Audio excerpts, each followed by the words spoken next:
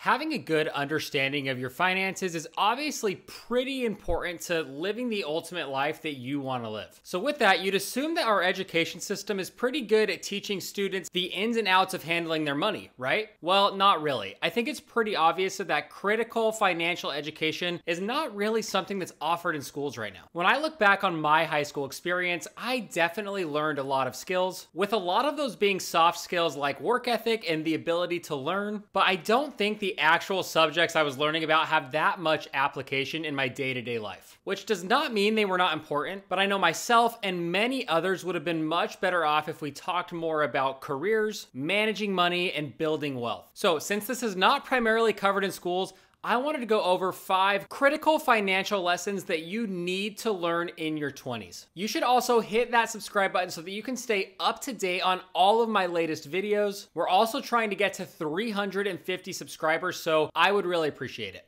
Thanks. Okay, before we start talking about the things you need to do, let's first talk about something not to do or something to avoid or be careful with. When you turn 18, you suddenly have access to debt. And people may be actively pushing you into going into debt. For example, early in your life, student loans may be presented to you as a good way to pay for your education. Or you might be tempted to inflate your lifestyle by purchasing things with a credit card, even if you can't afford to pay off your whole balance every month. Or, and this is a common one, once you graduate from college, you might be tempted to go and take out a loan to buy your dream car. My point is, the opportunity for debt is everywhere. And if you're not careful, you can create a really horrible financial situation for yourself very quickly. So, the first lesson you need to learn in your 20s is how powerful debt can be. And this includes situations where you should avoid debt and situations where debt might be okay. Let's talk about debt that you need to avoid first. Again, for a lot of people, the first time debt is presented to them is when they're going to college and they have the option of taking out student loans. And when we consider that the average federal student loan has a balance of over $37,000, we realize how concerning this trend actually is. Student loans seem to be something that's widely considered to just be part of a normal life. We've almost normalized it in a way. But keep in mind that it takes the average student loan borrower almost 20 years to pay off their student loan completely. That's a really long term commitment for someone who signs a piece of paper when they're only 18. So I wish we could normalize pursuing education that does not require these loans. That might involve going to a public in state university, and in state schools are still some of the best schools in the country. Or it might involve starting at a community college while you're doing your general classes and still trying to figure out what you want to study. A lot of community colleges actually have programs that will allow you to easily transfer to a full four year university later on. Now, there may be some scenarios where taking out a student loan makes sense, especially if you're considering pursuing further education like medical school or a law degree or something like that. But we need to do more to show the upcoming generation that there's more options out there than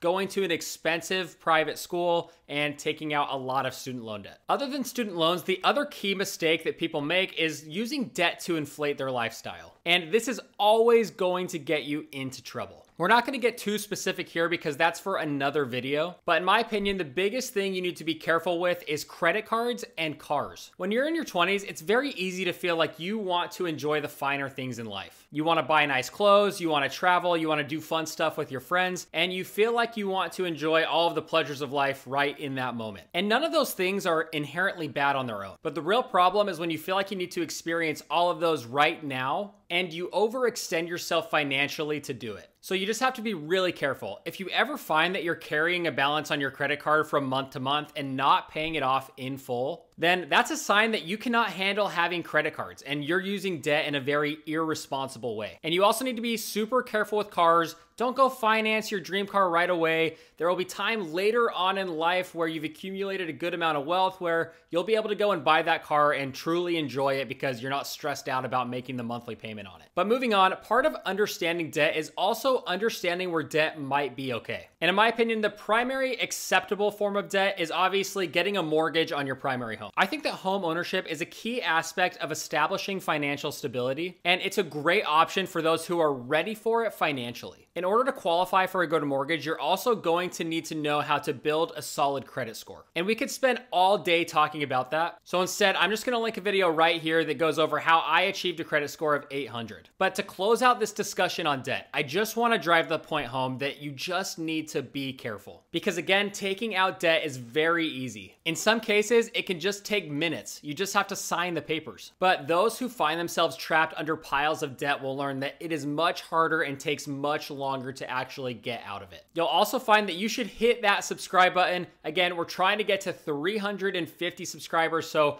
I would really appreciate it. Thanks so much. Okay, this one is gonna sound like a bit of a cliche, but we have to mention it because it's true. But the second lesson that you need to learn early on in your 20s is the value of the dollar. Let's talk a little bit about why this is important. Money is essentially an exchange of value. So in theory, you could create value through working a job, and in return, someone would pay you the amount of money that's equal to the value that you produced. You can then use that money to go and exchange it for things that are of value to you. And if you truly understand the effort that it takes to actually earn that money, I find that you'll be much better at managing it responsibly and not wanting to just blow it all in one place. This becomes clear when you consider that most lottery winners end up blowing through all their earnings. According to Next Gen Personal Finance, one third of lottery winners eventually have to declare for bankruptcy. And I truly think it's because they don't understand the value of that money that they just won. And that's not to say that they don't deserve it, but when you receive an immediate windfall of cash like that, you didn't put forth the effort to earn that money, and therefore you don't really understand what you're holding on to. And that makes it really easy to just let go of it and spend it. It's easy to go spend a hundred grand on a new boat in that scenario because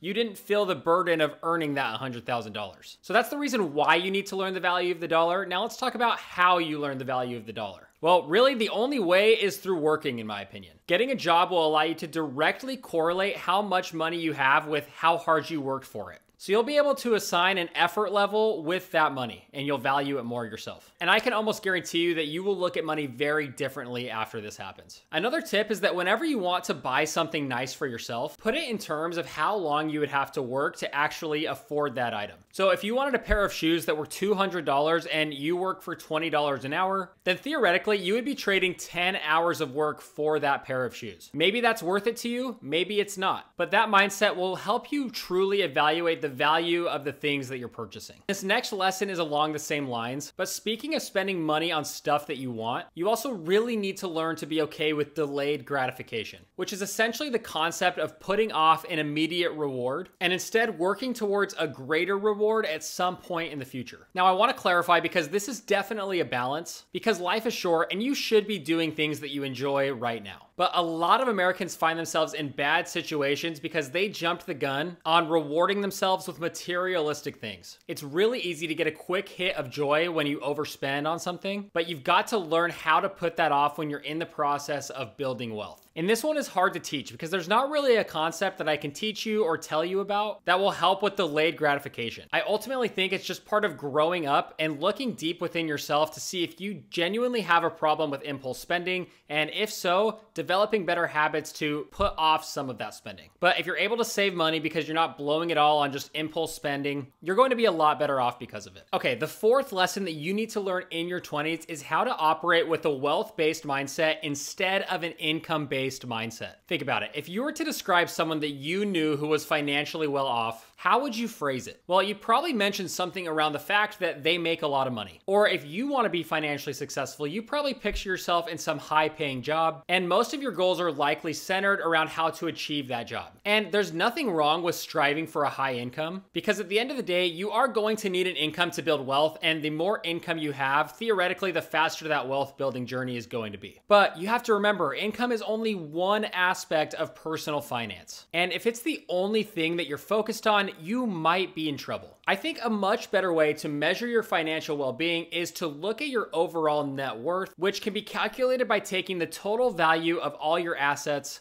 and subtracting it from the total value of your liabilities. Assets would be anything that you own that has value like a home, cars, stocks, cool baseball cards, etc. And liabilities are typically in the form of debt that you owe, so things like a mortgage, credit cards, student loans, etc. And I think the reason net worth is a better metric of financial success is because it's actually looking at how much money you have, where with income, if you're only focusing on how much money you're bringing in, you're only looking at one side of the personal finance equation. Remember, half of Americans earning over $100,000 a year still live paycheck to paycheck. So just because someone has a decent income doesn't necessarily mean that they're actually wealthy. And if your focus is on net worth, that will also incentivize you to adopt better spending habits and dedicate more of your income towards investing and building your net worth. And that brings us to the last lesson that we're gonna talk about in this video. The fifth financial lesson that you need to learn in your 20s is how to invest. Before we jump into the specifics on this, I just wanna call out that I am not personally a certified financial advisor. And before you ever invest in anything on your own, make sure you do your own research. And if you need to, make sure you do talk to a financial advisor. But anyway, investing is ultimately gonna be your ticket to achieving financial independence. And unfortunately, investing is just something that most Americans